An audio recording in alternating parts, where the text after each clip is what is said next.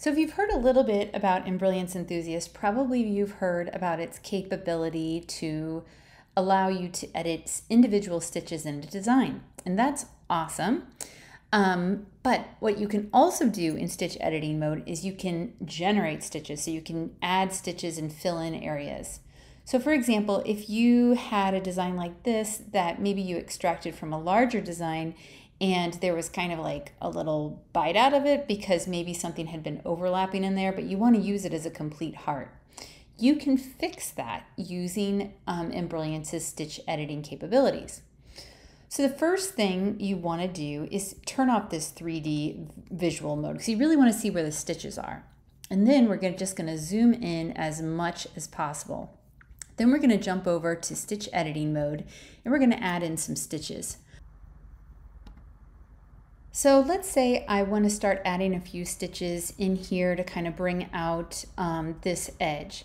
So I'm going to start by selecting this stitch right here and I can see that the previous stitch is back there, then it goes to here, and then it goes over that direction.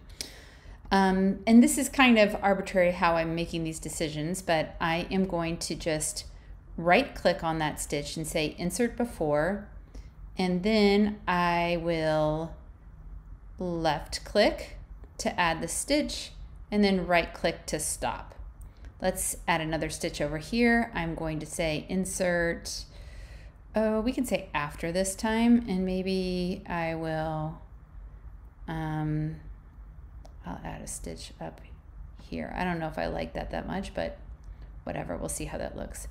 I'll click on that and I'm going to right click, insert before, and I'm just going to add my stitch and I will continue, you know, I can move stitches too, and, and then I'll insert, oh, let's say before.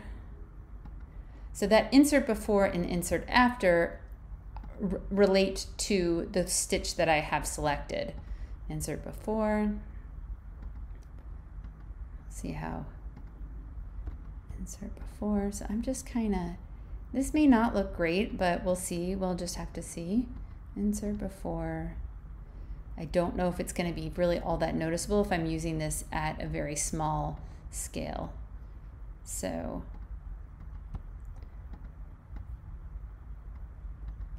before, I'll insert one before. Okay, maybe insert one after.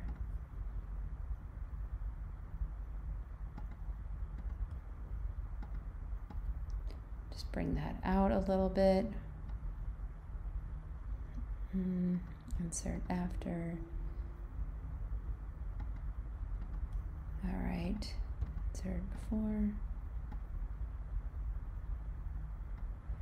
And insert after. So I'm just kind of inserting stitches here and there. I don't know how this is going to look, but we will see. Let's insert maybe one after kind of fill in that area.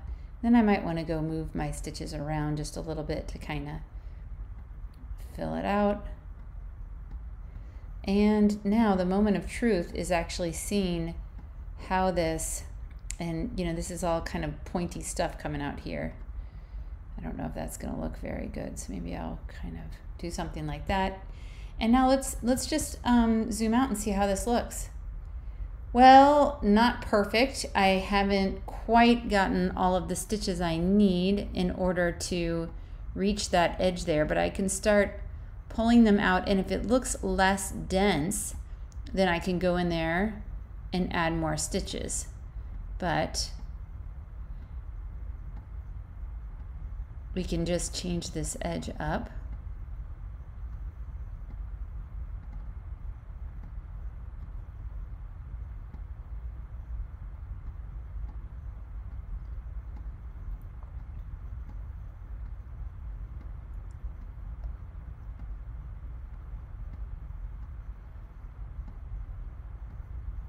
And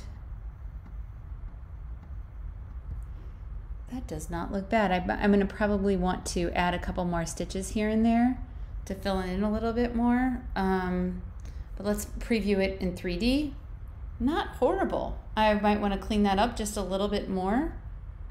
Um, and you kind of see it from a different perspective if you look at it in 3D, but I don't hate it.